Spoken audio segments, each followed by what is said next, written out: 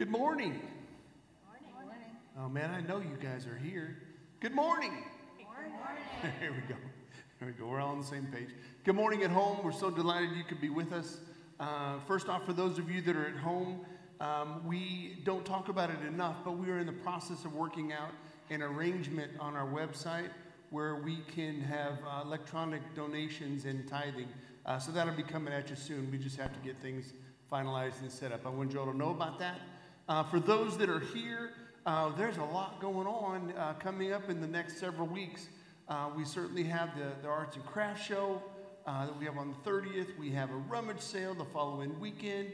Um, in between there, I know my grandson is very excited about Halloween. Um, I didn't need to really announce that, but I just, the, the excitement builds. It, it, builds and builds. So we have a couple of announcements. I don't know who wants to go first. Melinda, do you want to go first?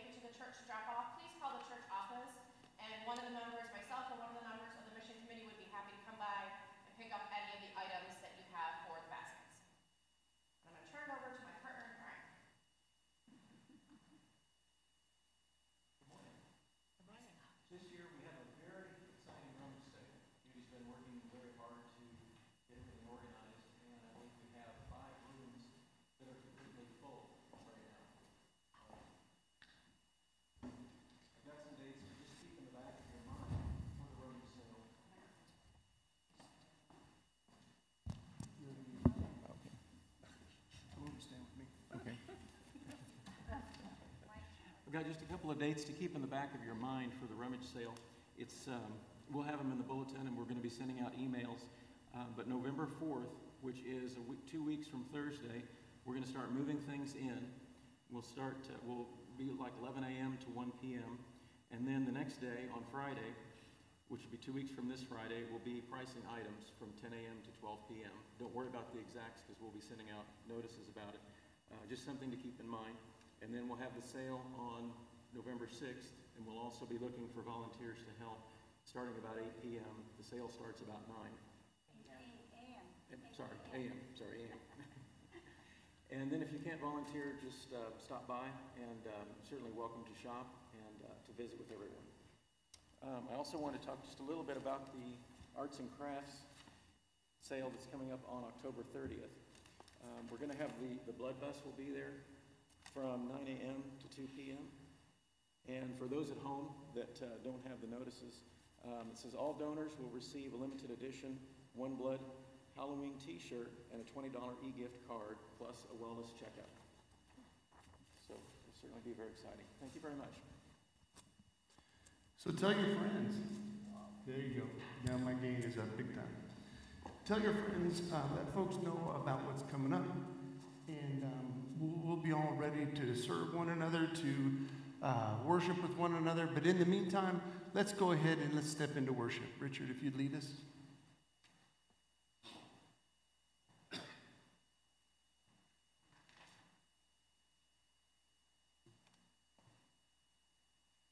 See if I can get up here without falling down. There we go. Last week we opened the service with a little praise song, which happens to be a very good call to worship song. So this morning, we're going to sing it one more time for everybody, for those who for, for those of you that this song was new, we'll sing it once, and then I'd like you all to rise, and those who can, and sing it with us. This is Come, Now is the Time to Worship.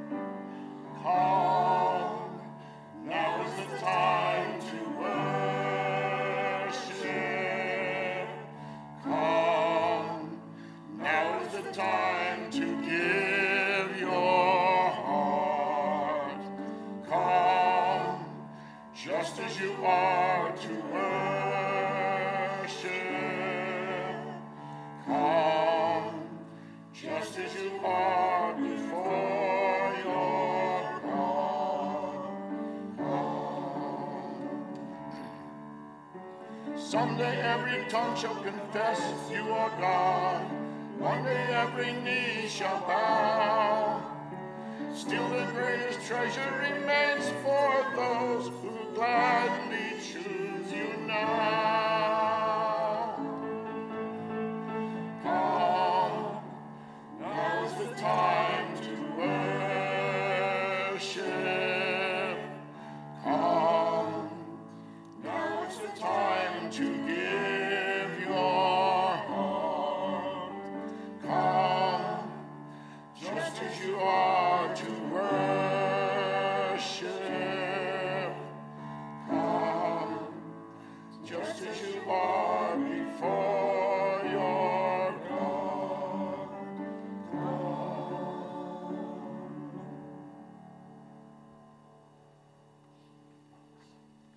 Oh, loving God, all you do is bid us come.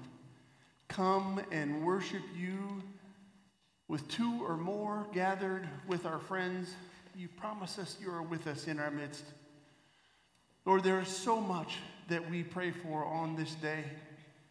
We pray for safety for those that aren't here. We pray for the hearts of those that are in conflict with you this day or in conflict with one another that your Holy Spirit fills the hearts of all who have called you Lord. Come, Lord, be in our midst. Be in and around and through each and every one of us. The days are coming where you are calling on us to love another, to love you. Continue to prepare us, Lord, for that day. It's in Jesus' name we pray.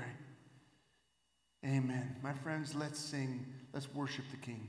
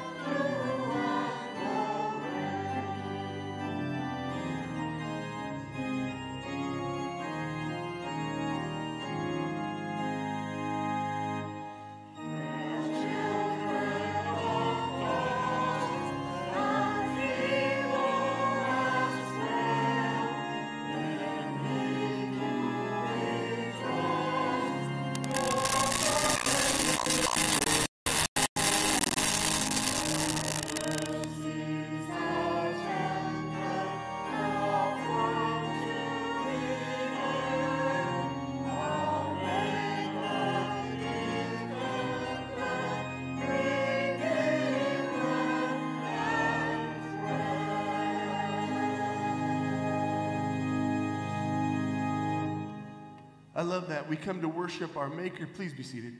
Our, our Maker, our, def, our friend. I just, I just love that idea.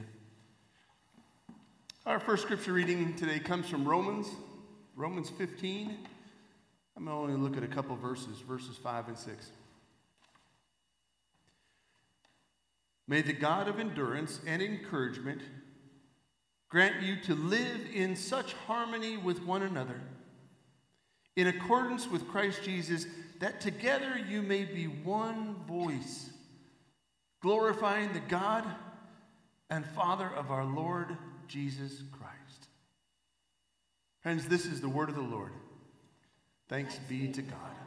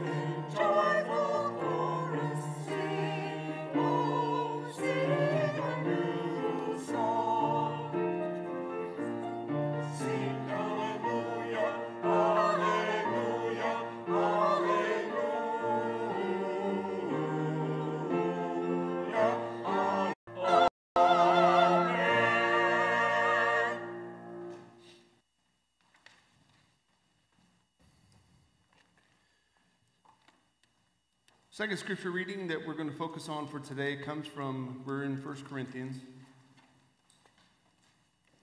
So it's 1 Corinthians 1. Uh, we'll, we'll start in the 10th verse. I appeal to you, brothers, by the name of our Lord Jesus Christ, that all of you agree and that there be no divisions among you, but that you be united in the same mind and the same judgment. For it has been reported to me that Chloe's people, by Chloe's people, that there is quarreling among you, my brothers. What I mean is that each one of you says, I follow Paul, I follow Apollos, or I follow Cephas, or I follow Christ. Is Christ divided? When Paul crucified for you, was Paul crucified for you? Or were you baptized in the name of Paul? I thank God that I baptized none of you except Crispus, and Gaius, so that no one may say that you were baptized in my name. I did baptize also the household of Stephanas. Beyond that, I do not know whether I baptized anyone else. For Christ did not send me to baptize, but to preach the gospel. And not with words of eloquent wisdom, lest the cross of Christ be emptied of its power. Friends, the grass withers and the flowers fade, but the word of our Lord stands forever. Thanks be to God. Let's pray together. Loving God, we ask that you open our hearts and open our eyes that we might clearly see, clearly feel what you would have us learn from this text. But as these words come from you through my voice, Lord, open our ears that your word might be illuminated. Be with us this morning, Lord. It's in Jesus' name we pray. Amen. Those are tough texts. Those are tough texts for us to think about what, what God is saying, the, the division. We all know that there's division in our country. Has anybody would agree with that in watching the news, right? Yeah, that hadn't gone away, has it? But it's amazing to me, and it's probably amazing to you, at the division that's even in the house of God. You know, it's one of those where I don't think it should be there. I wish it wasn't there. But good grief, I guess it was even there back in the day when the church was being formed. And Paul wrote about it. I read that there's a battle cry, battle cry for many in the church today. I don't, I couldn't find the author. But it said, Believe as I believe, no more, no less, that I am right and no one else confess. Feel as I feel, think only as I think. Eat what I eat and drink what I drink. Sounds like Dr. Seuss. Look as I do, do always as I do, and then and only then will I worship with you. I smile at the absurdity, I'm sure you do as well. But this is a self absorbed mindset that has become, I believe, a bit of a cancer in our world today, in our church. The problem of divisions of conflict, uh, they plagued, plagued us really, as I mentioned, from inception. It was this problem that Paul was writing in this first chapter. We are going through the book of First Corinthians. And this is the one thing that Paul wanted to start out with. He wanted to make sure that this was important. You see, Paul is writing to a church that is in a bit of conflict with itself. And what you'll find is anytime someone is going to write about that or speak into that, they're going to speak it at the core of the issue so that that may be addressed, so that ears might be opened. And anything else that is said after that can be heard. So Paul is suggesting hey, hey, hey, hey, we're divided here on who is the one that we are to be focused on. Now, you might say, well, David, I don't see division in this church, but, but think about it for a moment. That we all come here today with things on our hearts, things that trouble us. If ever there was a time in the society of humankind, I would imagine now is a pretty good example of when everybody's anxious about something. We've all gone through this pandemic for the, it's going on two years and anxieties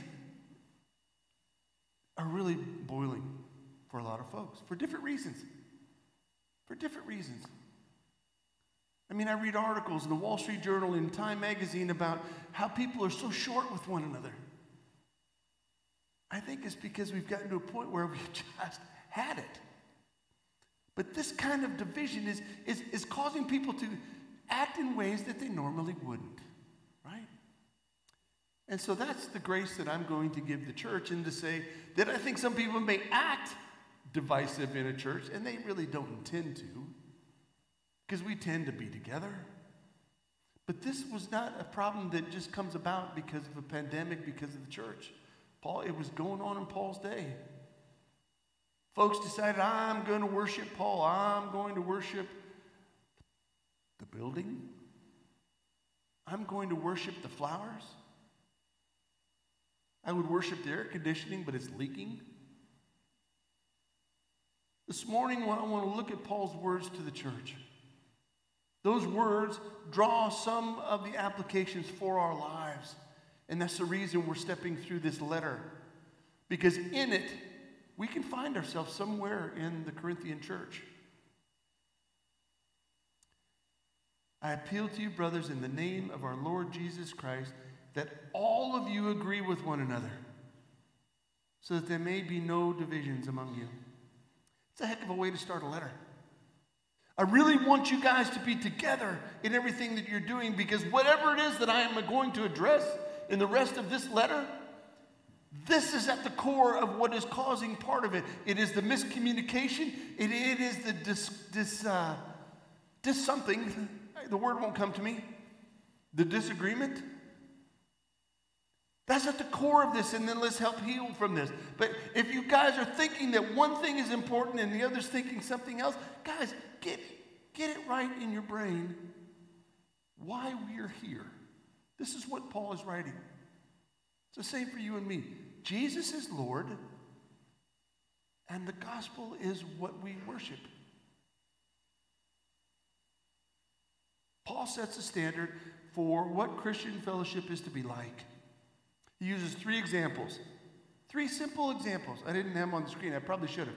Three simple examples of what Christian uh, relationship should be like. Number one, agree with one another. All right.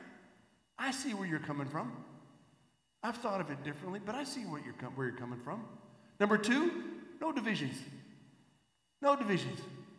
They're on that team, we're on this team, so we're just going to be do worship together, but they're on, they're on their side and we're on our side. It doesn't work. And three, be perfectly united in mind and thought. That's a hard one because I said perfect, didn't I? You and I can't do it alone. You and I can't do it alone. But there's one way it can happen. Perfectly united mind and thought is what? Our Lord and Savior is our focus. Who is the only one who's perfect? See what I did there? Sounds good, but these, these statements are sa- sa- sounding so simple, but these statements are three things that we happen to mess up often as humans. Parents who are successful at raising children learn that if they agree somewhere on a united front, nod for me, parents. If parents agree on something in raising kids, it's going to go well for them. If parents are divided, it does not go well. How many times as a kid, I'm going to show hands because my mom is watching at home, that if dad said no, I go and ask mom, right? If dad said, Well, I don't know, what does mom think? I knew I could win because I just had to sweet. Dad doesn't mind, right? That's a divided front. And in other words, I was bringing up something that they hadn't talked about. Had they talked about, it, they were always on the same page. That is what we learn. It's what we learn how to step in and how to divide and conquer.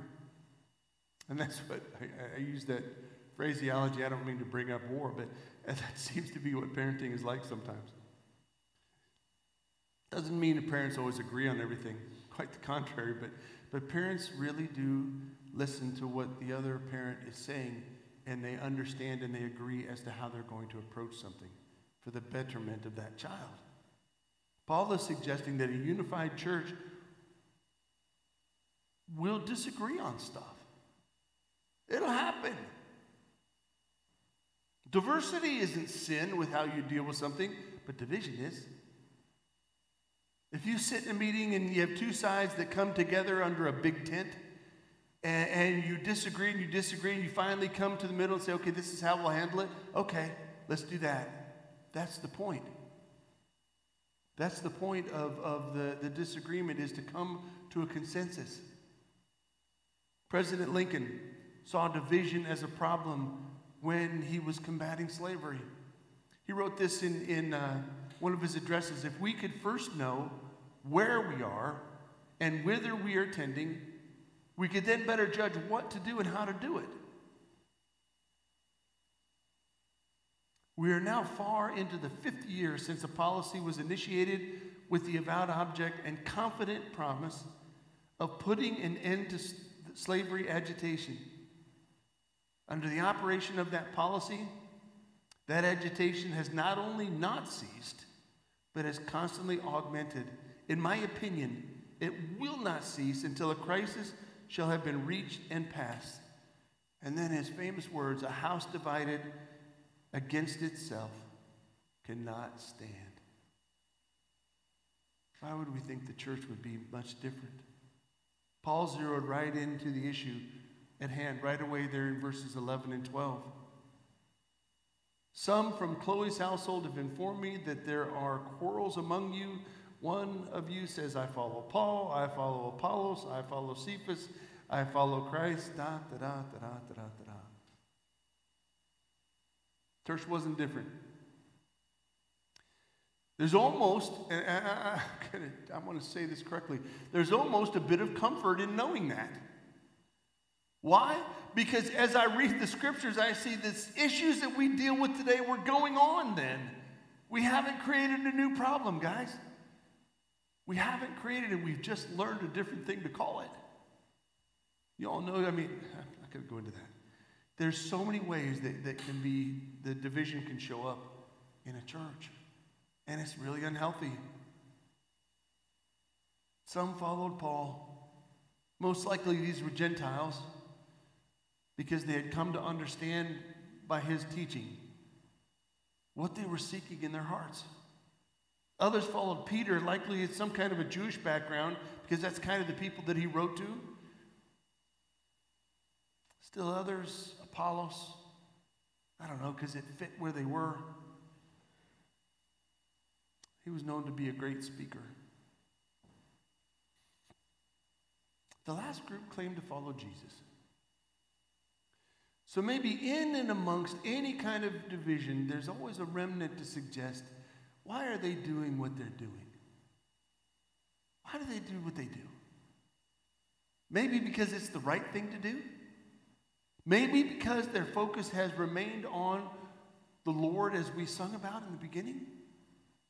Maybe because they recognize that come now is a time to worship. Come now is a time to praise our living God. There's always that group that is, I, I, hate to say it this way, but I can't think of anything else that, that's getting it right. That is keeping the main thing the main thing. Maybe we should pay attention to why people do what they do and, and why they focus on what they focus on. And why they suggest if we hold fast to disciple making, if we hold fast to the gospel, if we hold fast to loving others to love Christ, maybe that information is being fed from somewhere other than that person's heart that is self focused. Maybe it comes from the study and the understanding that this is what we are called to do. What is the call in our lives? We all know that people have celebrity pastors today, or have been for a long time. Billy Graham didn't seek it, but he sure found it. Joel Osteen, Max Lucado, Ken Copeland, T.D. Jakes, Andy Stanley, Erwin McManus. I mean, I could go on. I know names like everybody else does. But when their focus is on the gospel, I'll listen to them all day long. When their focus is on what God is calling us to be and do, I'll listen all day long. There isn't anything wrong with someone that speaks eloquently about the loving God. There's nothing wrong with that. It's when it gets sideways that we need to pay attention. I want you to notice something. There's no indication that Paul, Peter, or Apollos encouraged or desired rabid devotion. There's nothing that we read in the text to say that Peter was hoping people would follow him, and Paul would hope, was hoping that people would follow him, and Apollos was looking for a following. This doesn't mean that folks are seeking that. It just means that those that are listening have forgotten the point, have missed the message, and have fallen in love with the messenger. What's the fix? Paul confronted this. Paul saw this as a problem of the, the gospel not being able to get through. The question to ask yourself is, is something that Martin Luther said so long ago, and, and Karl Barth um, leaned back into it. He, he said, Let Scripture answer Scripture. Let Scripture be your answer. The church is divided. Is Christ divided? No. Did any of these men, Apollos, Paul, Peter, did any of them die for you and rise again from the dead for you? No. Was anyone baptized in their name? No. So they're mere men. Paul uses verses 14 to 17 to teach us that he didn't baptize that many people for the purpose of not wanting to have anybody get sideways with why we do what we do. All right. It appears that the problem in Corinth was not about essential doctrines, wasn't about why we do what we do. It was pretty petty if you think about it. And I say it that way because I see divisions in churches today. That really, at the core of it, is pretty petty. It's pretty unneeded. Those issues need to be set aside and resolved for the sake of Christ, for the sake of what the kingdom needs to have happen. How should we handle conflict situations? Well, since it is inevitable that conflicts were to happen in the body of Christ, just like, I don't know, conflicts in home, I want to take a look at how to preserve the unity in the church because that seemed to be the second thing that Paul was leading us to. It's important to preserve the unity of the church because the body doesn't work separate, apart from itself. It has to be together. So uh, as I, as I do, I take a look at what should we not be doing. Well, gossip, slander, others in the church, we shouldn't be doing that. It's wrong to have secret meetings to lobby support for a position in the church. That shouldn't happen. Everything we do should be in the light. It's wrong to draw unwarranted conclusions, negative conclusions about another brother or sister. It's wrong to engage in personal attacks character assassinations.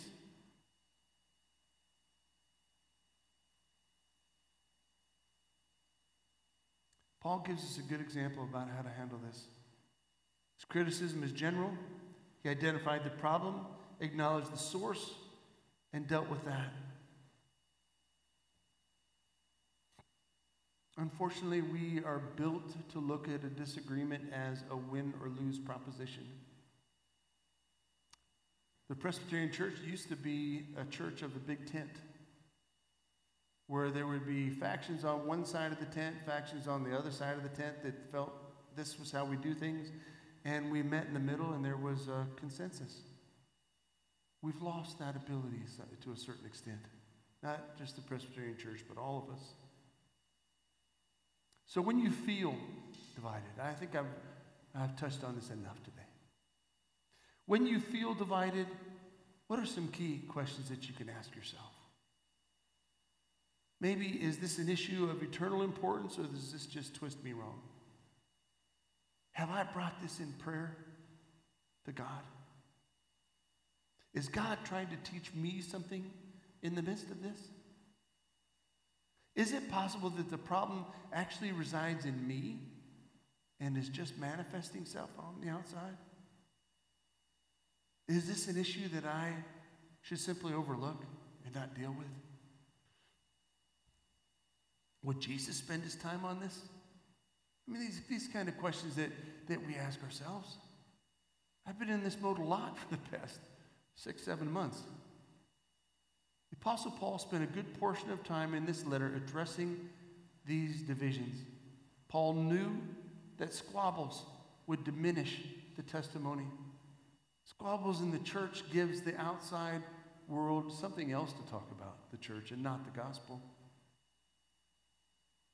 Paul didn't want anything to cast a shadow on the magnificent, magnificent message of the gospel. That should be our goal as well. We can learn, learn about love, we can talk about love, but it will mean nothing until it is practiced. I believe that the Christian faith is like that. I believe that the folks in here know that. I believe that you all want more than anything that to be the case. But true Christian love makes room for differences of opinions.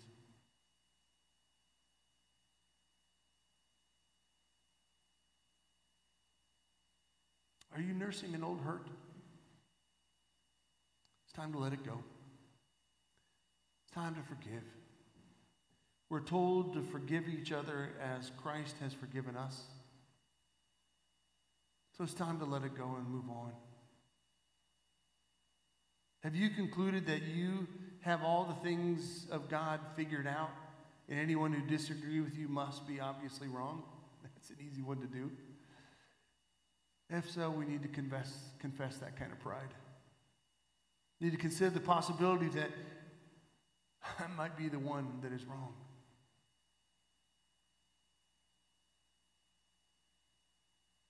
God has made the unity of the church a high priority in everything.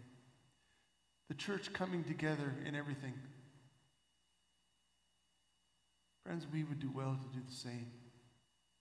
And let that be our message that the world sees. That this is a place of healing.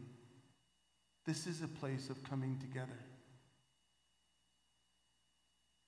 This is a place where all are welcome. Let's pray together. Loving God, we thank you so much for your word, for your love, for knowing where we are and when we will be there. Lord, we thank you for your scriptures, and sometimes it brings about very difficult subjects. But we know that you bring these to us in love. You bring these to us, Lord, so we can process enough to let it go.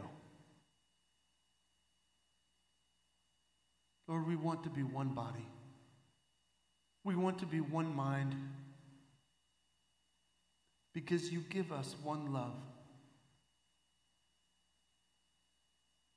Help that be our message. Help that be the conversation we have throughout the land that that is who our church is, that is who our God is.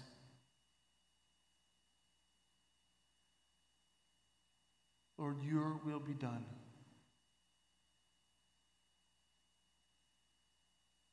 No other.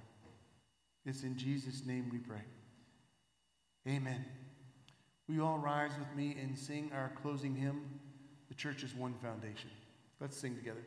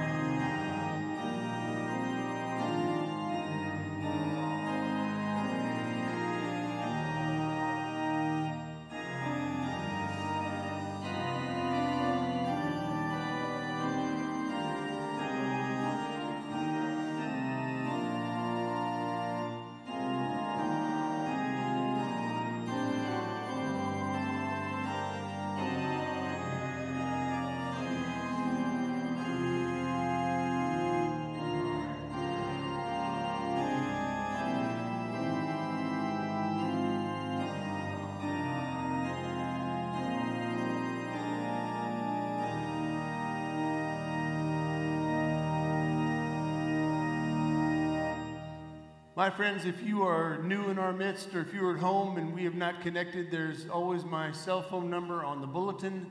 Uh, please send me a text, give me a call. I'd love to have coffee.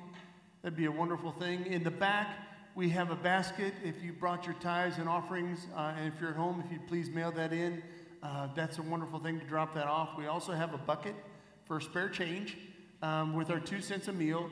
We also have gifts um, available to give to those who are out working in our midst, uh, mailman and such. You figure out who that is, uh, just to say thank you. Thank you for, for powering through and working through this difficult time. Now, my friends, may the Lord bless you and keep you. May he make his face shine upon you and be gracious unto you.